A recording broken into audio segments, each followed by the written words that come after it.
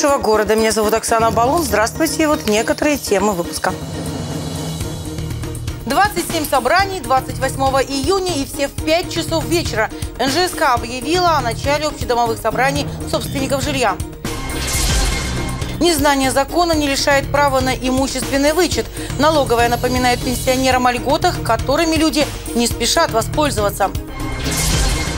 И покусанная машина. Такой сегодня утром обнаружила жительница Ноябрьска свое новое авто.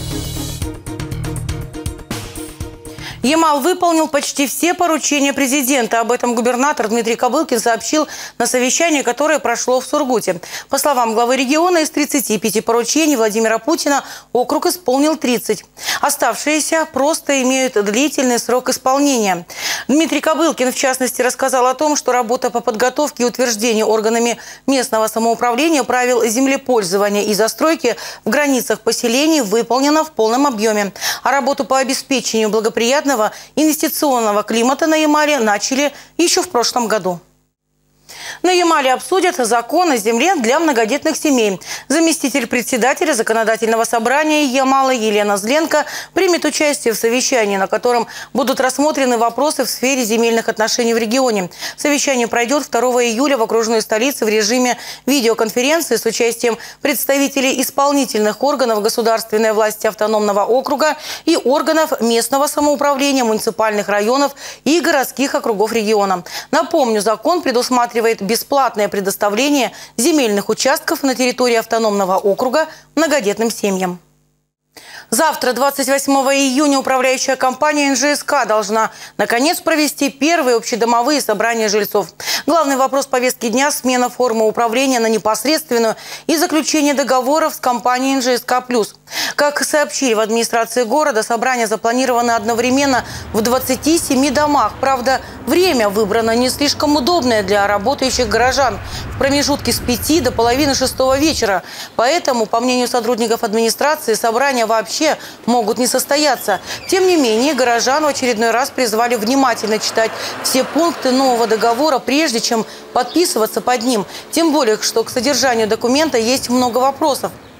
Когда мы заключаем вот эти договорные отношения, мы должны хотя бы поинтересоваться, а что нам, какие работы будут э, предоставлены на ту сумму, которая оговорена в договоре. Да? Я ее вообще, будем говорить, не вижу, этой суммы. Вот к этому договору обязательно должен быть перечень работ. И перечень работ должен эм, быть индивидуально на каждый дом.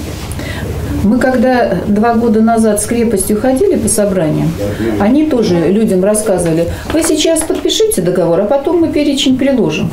Так ничего и не было сделано. Подводя итог, Ирина Никифорова подчеркнула, что, конечно, выбрать непосредственное управление собственники могут, если хотят, но должны учитывать, что в этом случае ответственность управляющей компании будет ограничена исключительно подписанным с жильцами договором. И контролировать исполнение всех работ жильцы должны будут самостоятельно. Между тем, руководство НЖСК стоит на своем и заявляет о том, что документы, которые до собрания предлагается подписать собственникам, всего лишь проект решений общих собраний и проект нового договора. Правда, слово «проект» не вписано ни в одну официальную бумагу. Кроме того, в НЖСК уверяет, что права собственников, новые условия договора и новый способ управления не ущемляют.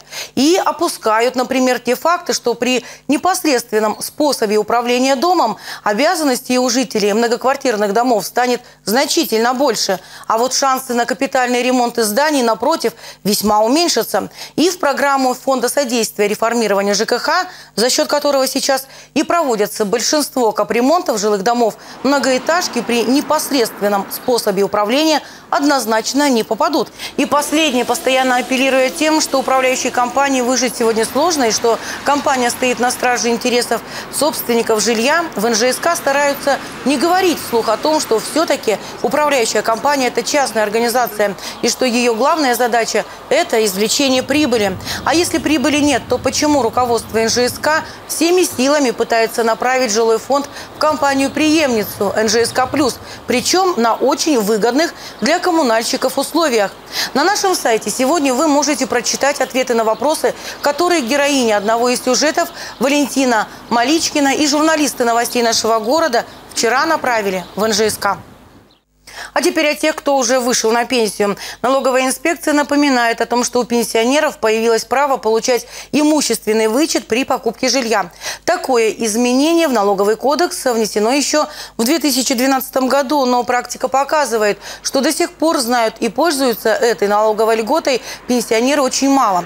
Между тем, если человек купил квартиру и вышел на заслуженный отдых, например, в этом году, а ранее он имел доход, который облагался налогом по ставке 13%, то есть обычную зарплату, то сейчас самое время обратиться в инспекцию за имущественным вычетом. И в данном случае, так как он не работает, он имеет право э, вернуться на три предшествующих года э, сделки по приобретению жилья. То есть в 2013 году квартира куплена, а за три предшествующих года, которые он работал, 12, 11 и 10, он имеет право заявить имущественный вычет по приобретению жилья. Здесь есть один существенный момент.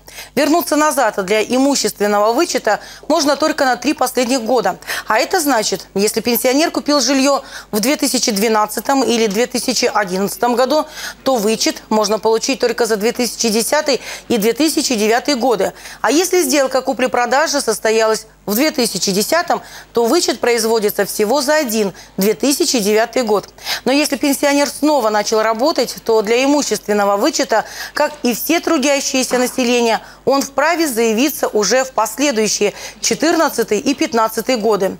Ранее до принятия поправок в налоговое законодательство пенсионеры вообще не могли рассчитывать на подобные налоговые преференции. «Газпромнефть» в рамках соглашения с «Газпромом» намерена оснащать свои АЗС газовыми блоками для реализации газомоторного топлива. Об этом в интервью телеканалу «Россия-24» рассказал председатель правления «Газпромнефти» Александр Дюков. Говорили на встрече и об итогах работы компании за 2012 год. Александр Дюков рассказал, что в минувшем году «Газпромнефть» стала лидером российской нефтяной отрасли по темпам роста добычи углеводородов. Кроме того, компания расширила географию деятельности за рубежом, а также получила первую нефть в рамках новых крупных проектов на севере Ямало-Ненецкого автономного округа. И что важно, подчеркнул Александр Дюков, компании удалось увеличить долю прибыли, направляемую на дивиденды.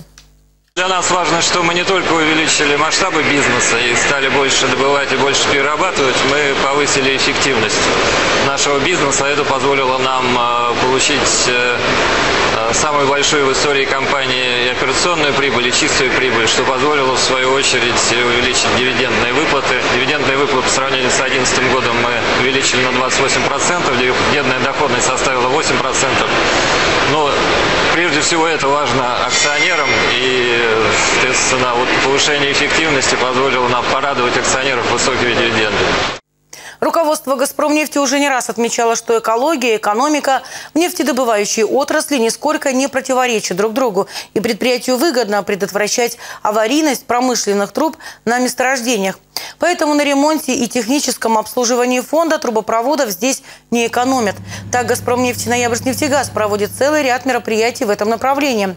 Замена трубопроводов, капитальное строительство, диагностика, мониторинг скорости коррозии – Очистка трубопроводов и другие операции. Целостность труб напрямую влияет на экологическую обстановку в месте добычи.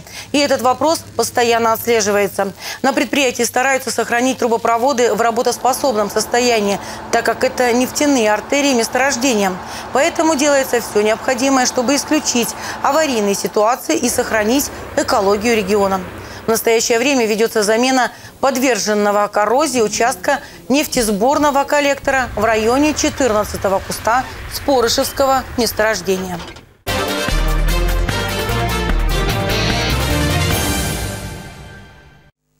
Неприятный сюрприз обнаружила одна из жительниц города, выходя из подъезда собственного дома. Как обычно, женщина направилась к своему автомобилю, к слову сказать, купленному совсем недавно, 4 месяца назад, и сразу увидела, что передняя часть машины, а также левая сторона сильно поцарапаны. Кроме того, бампер автомобиля искусан.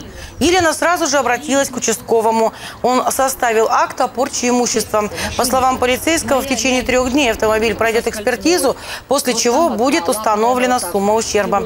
Кто это сделал, пока не ясно, но женщина уверена, это дело не рук, а лап, скорее всего, большой собаки. Вчера в обед вышла и увидела, что у меня машина как говорится. Сначала думали, что кто-то отверткой. Но когда присмотрелись, это собачьи клыки, это видно. Людмила Буряк вернулась из очередной поездки по воинским частям. На этот раз она побывала в Армении, Южной Осетии, во Владикавказе. Там служат 30 ямальских срочников, 10 из них из Ноябрьском. Видео приветы молодых людей Людмила Буряк сегодня уже передала родителям на собрании, а с нами поделилась собственными впечатлениями от поездки. Завершилась очередная поездка по Северно-Кавказскому военному округу. В этот раз мы посетили э, Южный военный округ. Это у нас э, город Гюмри, 102-я военная база. И Южная Осетия, Цхинвал и Владикавказ. Конечно же, у меня остались такие яркие впечатления, это от Армении, потому что это там, где служат наши ребята, это исторический город, ну, Словами не передать, это нужно служить и видеть. Можно сказать родителям, чтобы они не волновались. Служат наши мальчишки достойно и выполняют с достоинством свой воинский долг. 28 июня молодежь Ноябрьска отметит свой праздник. В этот день будет подготовлен целый ряд самых разных мероприятий. От забега на шпильках, за что, к слову, победительнице полагается пятидневная поездка в Санкт-Петербург, до большого концерта, на котором выступят артисты из Кургана и Челябинска. Информационный спонсор празднования Дня молодежи – издательский дом «Благовест». Для жителей нашего города завтра планируется проведение праздничной программы, э, посвященной Дню молодежи. Э, в районе городского фонтана и прилегающим э, к ним аллеям будет работать молодежный Арбат, где молодежь города и жители смогут посетить интерактивные площадки. Заключительный этап городского конкурса райтеров «Краски улиц». Фотосалоны будут работать, где смогут жители города и молодежь сфотографироваться в старинных костюмах. Планируется планируется приезд э, артистов из города Кургана и Челябинска. Э, также будет у нас ведущий Стас Зубков. Я думаю, что молодежь и жители нашего города э, уйдут с массой положительных эмоций с данного мероприятия. Ну а далее коротко о том, что на этой неделе для своих читателей подготовили корреспонденты газеты «Слово нефтяника». Слово нефтяника. Читайте в свежем выпуске. Сегодня молодежь часто жалуется на то, что в ноябрьске некуда сходить, нечем заняться. В интервью СН начальник управления по делам семьи и молодежи Игорь Шевелев рассказал о том, какой он видит сегодняшнюю молодежь и над чем УДСМ работает в летние каникулы. Молодость – это мечты, подвиги и планы. В преддверии Дня молодежи редакция СН на пятой полосе свежего номера знакомит читателей с самыми энергичными, амбициозными и успешными молодыми специалистами «Газпромнефть» Ноябрьснефтегаза. А на девятой странице газеты известная сибирская травница, кандидат биологических наук и почетный гражданин города Тюмени Лидия Сурина в беседе с корреспондентом раскрыла секреты вечной молодости и здоровья. Слово нефтяника. Видим все. Говорим главное. И в завершении полезной информации специалисты назвали 10 основных продуктов помощников для сердца. Какие же продукты помогут сохранить символ любви в целости и сохранности? Остановимся на самых важных. Итак, первое место в списке заслуженно занимает рыба. Это, несомненно, главный помощник в работе сердца. Далее идут орехи, прежде всего грецкие и миндаль. Они содержат аминокислоту, которая защищает кровеносные сосуды и оказывает массу других положительных эффектов на организм человека. Томаты – отличное природное средство для улучшения сердечного ритма, для предупреждения гипертонической болезни и ишемической болезни сердца. Если у вас нет аллергии, на цитрусовые съешьте апельсин. Эти яркие плоды содержат пектин – вещество, которое способствует выходу лишнего холестерина из организма. И, наконец, пожалуй, самый приятный продукт мини-рейтинга, который публикует Вести 24 – темный шоколад. Он полезен при повышенном давлении, так как содержащиеся в нем вещества расширяют кровеносные сосуды. И на сегодня это все. Прогноз погоды через несколько секунд. Я желаю вам всего хорошего и до свидания. Партнер программы – магазин Поти Сантверса, торговый центр «Клубника».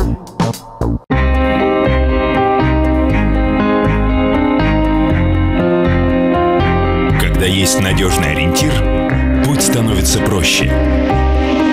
На любой АЗС «Газпром» нефть по всей России вы найдете качественный сервис и качественное топливо, чтобы двигаться дальше с новым запасом сил.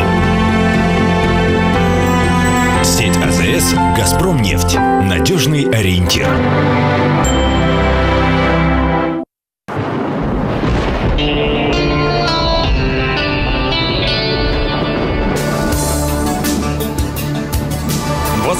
июня в Салихарде переменная облачность. Ветер северный до 9 метров в секунду. Температура плюс 13 градусов.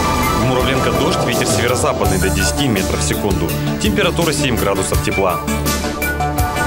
Ноябрьск небольшой дождь, ветер северо-западный до 8 метров в секунду. Температура плюс 7 градусов.